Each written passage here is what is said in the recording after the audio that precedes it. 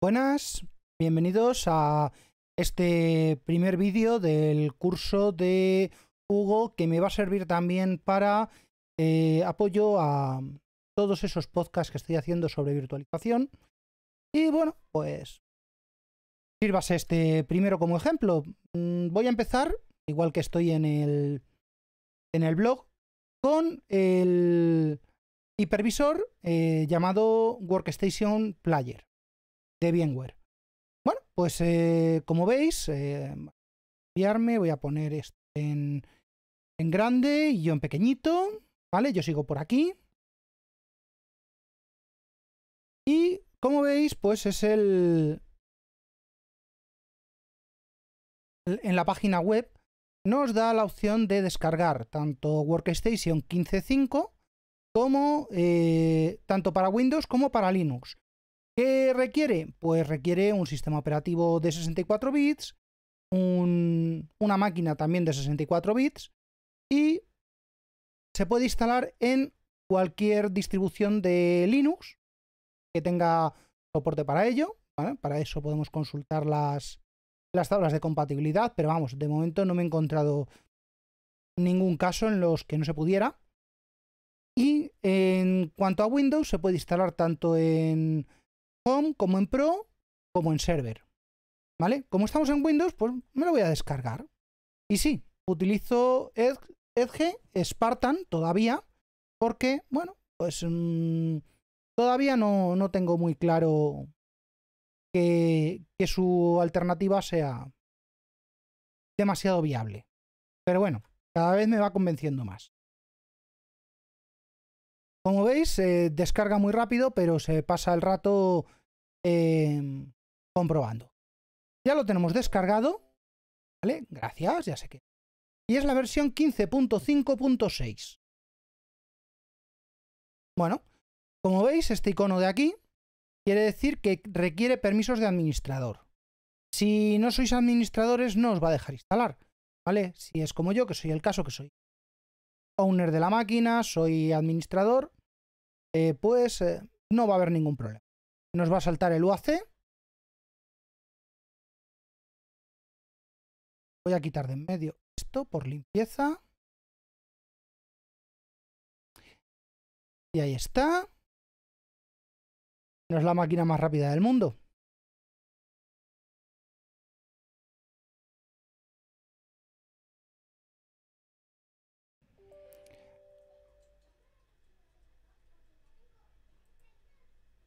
Bien, como veis, ya tardaba. Aquí ha saltado el UAC.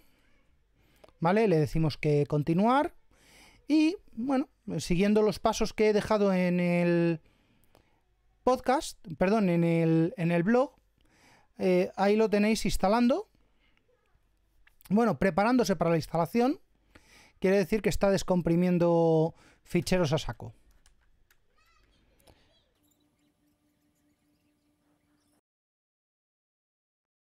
Vale, es que se ha quedado aquí escondido. Vale, preparándose para instalar. Eh, bienvenido a la instalación de Workstation 15 Player. A ver, una cosa. Eh, que tenga el sistema operativo en inglés no quiere decir que todo sea en inglés, ¿vale? Si esto tuviera interfaz en español, la hubiera puesto. No la tiene. Con lo cual, bueno, tampoco es difícil, ¿vale? Aceptamos los términos de, de licencia. Yo os aconsejaría, si tenéis tiempo, eh, eh, la lectura de estos términos de licencia. Es bastante, bastante agradable leer esto, sobre todo para conciliar el sueño. ¿Vale? Pero también tiene conceptos reveladores de dónde se puede utilizar y dónde no. le damos a siguiente. Yo siempre instalo el, el driver mejorado de teclado y que nos lo instale en Program Files x86 no quiere decir que el aplicativo no sea de 64 bits. ¿De acuerdo? Quiere decir que tiene componentes que son todavía de 32. Bueno, comprobar eh, actualizaciones. Bueno, pues si queremos comprobar las actualizaciones en cada arranque del producto, perfecto. Si hay un parche, si sale un parche porque Microsoft ha sacado una nueva versión, porque ha habido un CVE de eh, escalada de privilegios, lo que sea, pues aquí nos va... Mm, a dar una notificación de que si queremos actualizar o no. Y lo del ZAPE, bueno, pues yo creo que esto es bastante, bastante bueno dejarlo marcado. Sobre todo si sois usuarios domésticos.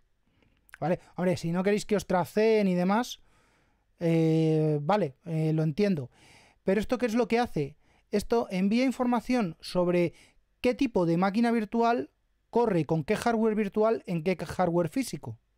Y con eso lo que hace es, eh, bueno, pues a modo de una cosa muy parecida a lo que hace el Popularity Contest de, de Ubuntu, ¿vale? Lo que hace es indicar a los desarrolladores cuál es la tendencia y por dónde tienen que eh, centrar sus esfuerzos. Bueno, créame los eh, accesos directos que quieras y, bueno, pues instalamos.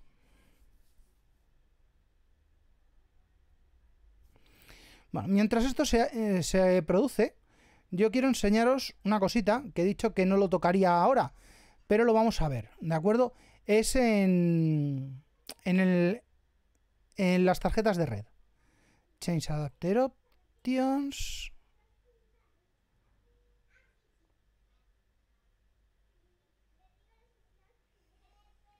Vale. Me he metido donde no es.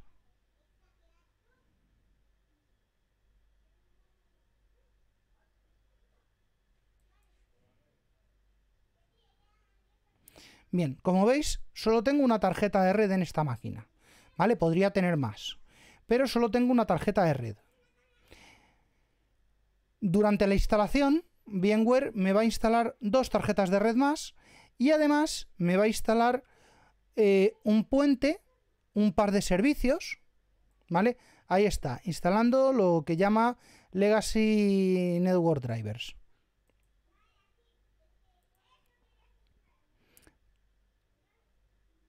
Perdón, estaba quitando lo que son los Legacy Network Drivers en caso de venir de una actualización o una desinstalación más hecha, mal hecha, va a instalar los Virtual Network Drivers nuevos. Eh, creo que fue en la versión 12 donde hubo el cambio entre el comportamiento de los legacy y los nuevos.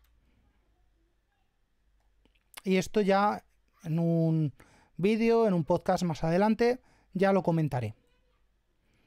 Vamos, que es para hoy. Vale, sobre todo os eh, aconsejaría paciencia.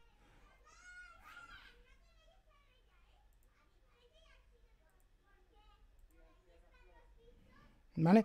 Ahí debajo está trabajando.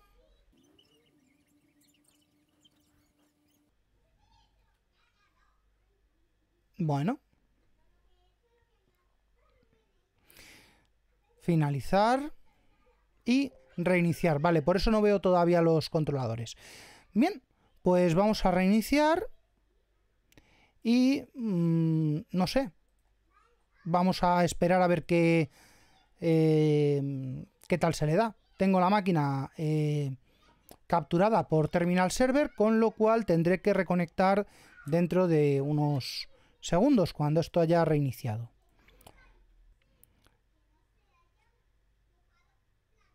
Bien, ahí está, está en ello.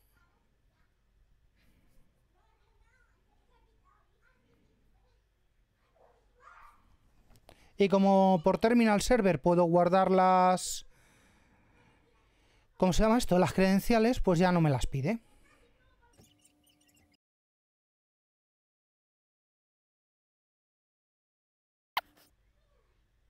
Volvemos y os voy a enseñar lo de las redes. Ahí está.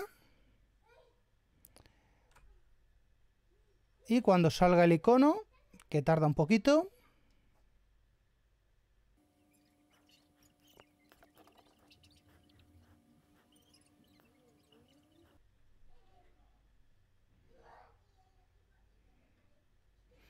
Bien, aquí está.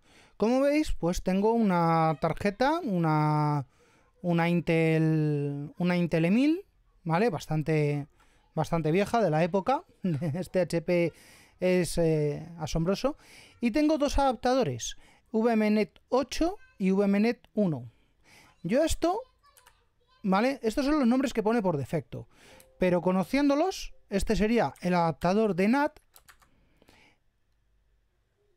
Quiere decir que cualquier máquina enganchada a ese adaptador saldría haciendo NAT desde, segundo, desde un segundo juego y rango de IPs. Y este sería el de host only. Quiere decir que cualquier máquina enganchada a este adaptador solo se vería con el host. ¿Vale? ¿Tienen utilidad? Pues sí, cada uno tiene una utilidad distinta. ¿Vale? Y bueno, pues lo que es la salida a internet, pues la hago a través de mi Ethernet 0 y las máquinas que estén enganchadas eh, a mi Ethernet 0 saldrán con una IP de mi red local, las que estén con una red NAT saldrán con una IP de la red NAT a través de mi, de mi equipo con mi IP hacia afuera y las que estén en host no saldrán. Bueno, una vez explicado esto, ¿vale? Que es a grosso modo el networking de eh, VMware de escritorio, pues vamos a arrancar el programa. Bueno, cuando ponga en ejecución la máquina, cuando ponga a trabajar la instalación del sistema operativo, obviamente no lo voy a hacer exactamente igual que ahora, ¿vale? ¿Por qué? Porque no tengo espacio en disco, pero para mostrarlo me basta y me sobra. Bien, ¿qué es lo primero que nos va a pedir? Pues nos va a decir usar Workstation 15 Player para uso libre, para uso no comercial. Esto excluye a cualquier empresa que lo quiera utilizar para propósitos empresariales, pero yo, por ejemplo, aquí en casa, para este blog, que es un propósito divulgativo, ¿vale? Que no es eh, comercial, que es simplemente ocio, pues lo puedo en principio usar sin eh, restricciones. Así que le damos a continuar y finalizar. Y esta es la interfaz. ¿Vale? En esta interfaz pues nos va a decir que podemos actualizar a Workstation Pro, podemos crear una nueva máquina o eh, abrir una máquina existente. Y bueno, me dice que... Pero no había yo instalado ya esta versión. Vale, ya sé lo que pasa. Eh, hay actualizaciones de las ISO de las tools. Ya explicaré qué es esto. Le digo que recordármelo luego porque no quiero que haga nada ahora. Y vamos a crear una nueva máquina virtual.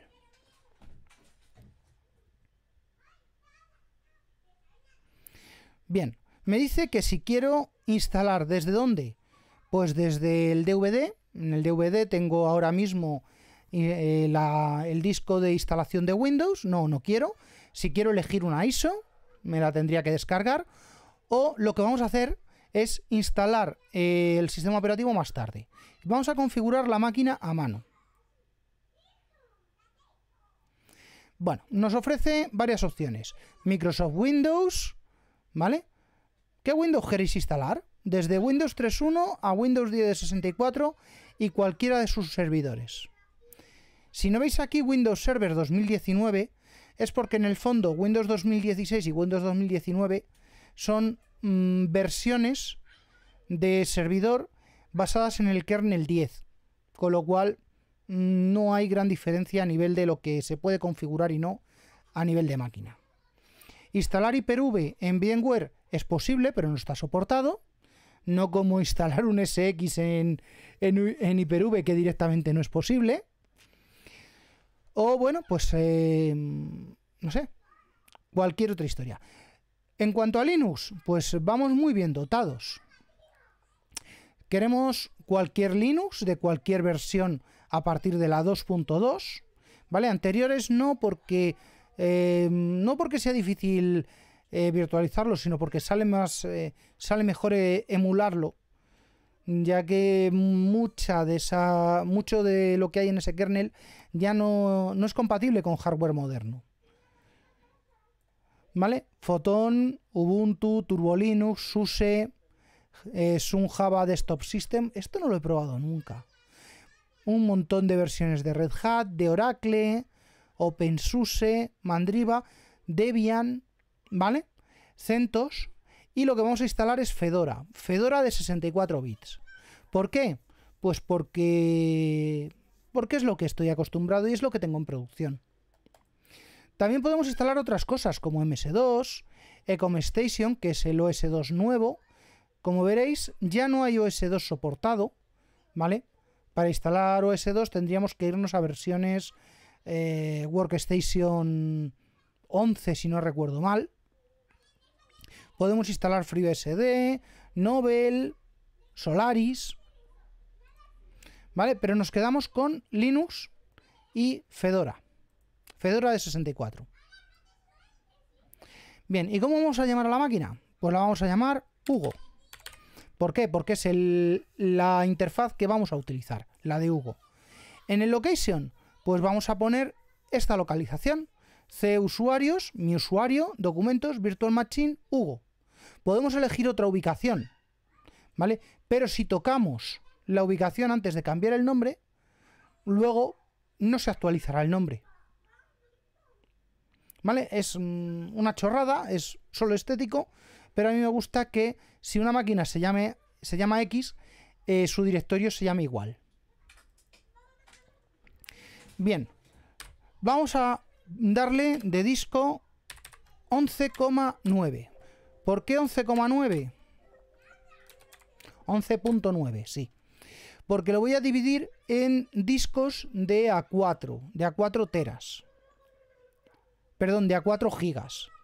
En esos discos de A4 gigas, lo que hará será eh, dividir una parte del sistema operativo, del disco de instalación del sistema operativo, pero con un pequeño detalle, y es que 4 teras serían 12. Eh, perdón, 4 gigas serían 12 gigas. En el, post, en el post lo explico, ¿vale? Con esto me va a dejar tres ficheros en lugar de tres ficheros grandes y uno muy pequeñito. Y ya sabemos todos que cuanto menos ficheros tenga que abrir el sistema operativo, eh, menos carga supone para sus interfaces de, de gestión, para los files, para eh, los streams, para cualquiera eh, cualquier cosa que sea lo que, lo que haya usado el programador.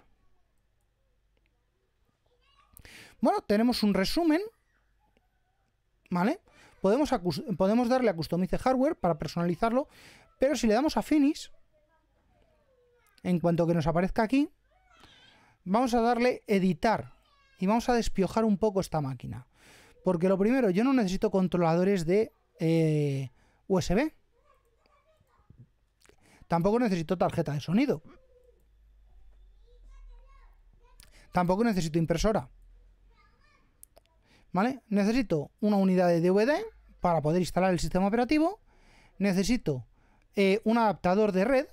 ¿Vale? Me ofrece cinco opciones. Estas cinco opciones son Bridge, quiere decir que la red de la máquina virtual se enganchará directamente a mi red y tendrá una IP de Milán. NAT es lo que os he explicado tengo una subred, nos enganchamos a la mm, a la tarjeta de red por la cara interna de mi host, ¿vale? A la tarjeta que habéis visto y salimos a través de NAT por esa IP. Host Only eh, va a dar lo mismo pero sin salida a internet y Custom, bueno, pues si quiero hacer algo con redes separadas especiales, Y segmentos de LAN. Segmentos de LAN, ¿qué quiere decir esto? Bueno, pues esto es una opción avanzada que nos permite crear eh, por cada grupo de máquinas virtuales un segmento en el cual estarán aisladas de otro grupo en otro segmento. ¿Vale? Pero esto mm, yo personalmente no lo he usado a nivel doméstico. ¿Vale? Es algo más de, de servidores. Nos quedamos con la opción de NAT y vamos a darle Vamos a darle opciones, que nos presente el procesador entero, ¿vale? Puedo darle hasta cuatro procesadores, porque es lo que tiene esta máquina, es un quad core. Y 2 GB de memoria, 2 GB de memoria está bien. Suficiente. Bueno, pues hasta aquí eh, cómo se instala y cómo se crea una máquina virtual. En el próximo capítulo hablaré de eh, cómo se instala VirtualBox en, eh, en Windows 10. Y en el siguiente hablaré de cómo se instala Hyper-V en Windows 10.